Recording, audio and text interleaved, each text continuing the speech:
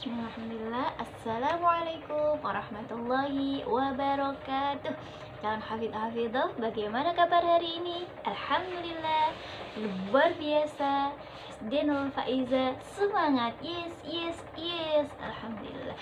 Hari ini kita akan menambah hafalan surat An-Nazi'at ayat 4 sampai 6 Ta'awud basmalah bersama Abata أعوذ بالله من الشيطان الرجيم. بسم الله الرحمن الرحيم. Setelah bacakan dulu.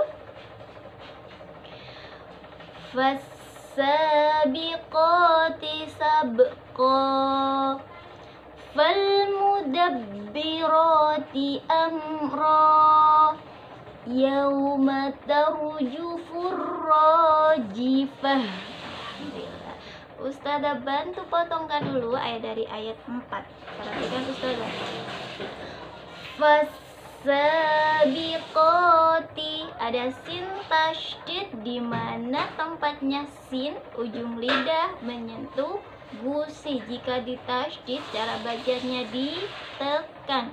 Fasabiqati bersama-sama. Fasabiqati lagi.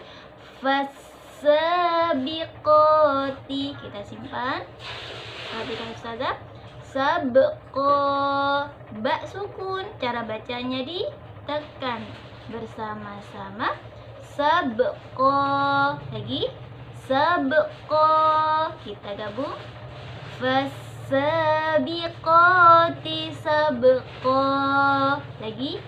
Fasabiqati sabqo kita simpan. Karena perhatikan saudara fal mudabbirati ada lam sukun di mana makhorijul huruf lam ujung lidah menyentuh langit-langit atas. Jika ditekan jika disukun maka cara bacanya ditekan.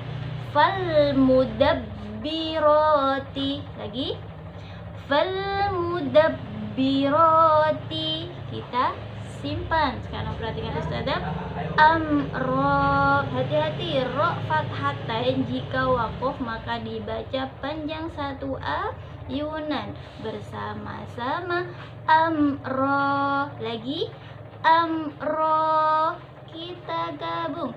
Fal mudabbirati amro. Lagi fal mudabbirati amro. Kita hafalkan dari ayat 4 fasabiqati sabqa falmudabbirati amra kita simpan sekarang perhatikan saudara yauma tarjufur nah ada ro sukun sebelumnya ada fathah maka ro-nya dibaca tebal.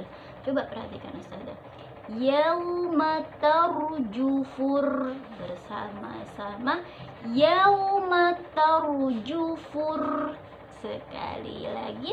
Yauma tarjufur kita simpan. Perhatikan ustazah. Rojifah. Nah ada tak marbuto jika diwakof? Maka cara bacanya seperti hak sukun. Perhatikan ustazah rojifah bersama-sama. Rojifah kita gabung. Yauma tarjufur rojifah. Lagi. Yauma tarjufur rojifah. Kita gabung kita hafalkan dari ayat 4 fasabiqati sabqa falmudabbirati amra yauma tarjufur rajifah apa kata kuncinya fas fal ya fas فالسابقات سبقا فالمدبرات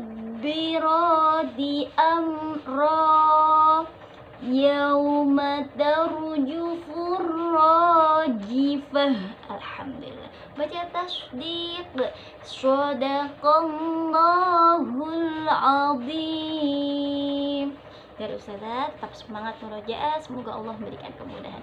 Wassalamualaikum warahmatullahi wabarakatuh.